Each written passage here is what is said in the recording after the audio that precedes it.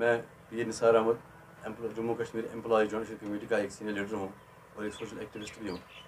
मैं आप लोगों का चाहे कोई प्रिंट मीडिया से ताल्लुक़ रखता है और या कोई इलेक्ट्रॉनिक मीडिया से ताल्लुक़ रखता है मेरे दोस्त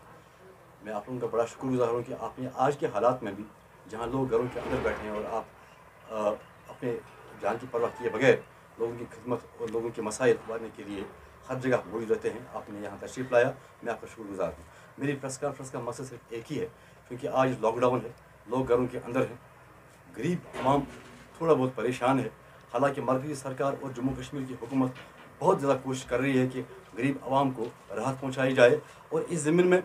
मैं अपने जो हमारे सरकारी महकमों में या पब्लिक सेक्टर इदारों में जो हमारे गरीब मुलाजिम, चाहे डेली वेजर्स हैं कैजुअल लेबर्स हैं कंसल्टेंट वर्कर्स हैं कंट्रेक्चुअल्स हैं कंसल्टेंट हैं आंगनवाड़ी वर्कर्स हैं, आशा वर्कर्स हैं हेल्पर्स हैं स्कूल कुक्स हैं एन वाई हैं एम नरेगाज हैं, आशा वर्कर्स हैं, या एच डी एफ़ हॉस्पिटल्स में काम करने वाले हमारे नौजवान लड़के, लड़कियाँ हैं। मैं उनको मुबारकबाद पेश करना चाहूँगा, जो इन हालात में भी लोगों की खिदमत करने में जुट गए हैं और अपनी जान की परवाह किए बगैर लाइफ को रिस्क में डालते हुए ये काम कर रहे हैं और लोगों की खिदमत कर रहे हैं। हालाँकि उन बहुत सारे ऐसे हमारे आरजी वर्कर्स हैं टेम्प्रेरी वर्कर्स हैं, जिनको अभी तनख्वाह हासिल नहीं हुई है, जिनकी तनख्वाहें वागुजार नहीं की गई हैं। मैं इस प्रेस कॉन्फ्रेंस के ज़रिए अपने ऑनरेबल लेफ्टिनेंट गवर्नर साहब, अपने वर्दी चीफ सेक्रेटरी साहब और उन तमाम महकमों और पी एस यूज़ के हायर हायर अथॉरिटी से पुरजोर गुजारिश करता हूँ, पुरजोर अपील करता हूँ कि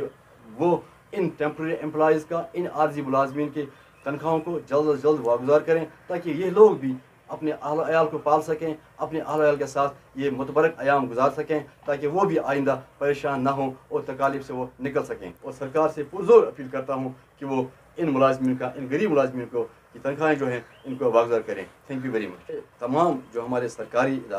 महकमे हैं और पी एस यूज़ हैं, इनमें हज़ारों मुलाजमिन हैं। ये हज़ारों की तादाद में हमारे गरीब मुलाजमिन हैं, चाहे कोई डेली वेजर है या कैजुअल लेबर है या टेम्प्रेरी एम्प्लॉज जो जिस जुमरे में आते हैं, वो हज़ारों की तादाद में हैं जो तनख्वाहों के बगैर हैं। जहाँ तक हमारी इंफॉर्मेशन है और जो जो हमें फ़ोन करते रहते हैं, कि सर हमें अभी तनख्वाह हासिल नहीं है, ये हज़ारों की तादाद में हमारे मुलाजिम हैं, गरीब मुलाजमिन हैं, जिनकी तनख्वाहें अभी वागुजार नहीं की। सारी परेशानी आप देखते हैं कि हालाँकि मरकजी सरकार और हमारी जम्मू कश्मीर की सरकार बहुत कोशिश करके नई नई स्कीमें वजूद में आ रही हैं। आप देखते हैं कि राशन फ्री हुआ चावल जो मुफ़्त में दिया गया आटा मुफ़्त में दिया गया गैस मुफ़्त में दिया गया मरकजी सरकार बहुत कोशिश कर रही है कि लॉकडाउन में से गरीब आवाम को निकाला जाए, उनकी परेशानी को कम किया जाए। लेकिन हमारे आर्जी मुलाजमिन जो हैं, हमारे टेम्प्रेरी एम्प्लॉय जो हैं, वो अभी तक बहुत परेशान हैं, अभी उनके आलायात फाक कशी कर रहे हैं। मैं चाहता हूँ कि मरकजी सरकार और रियासी रियाती हुकूमत उनकी तरफ़ खास तोजह दें, उनको उन परेशानियों से निकालें। Thank you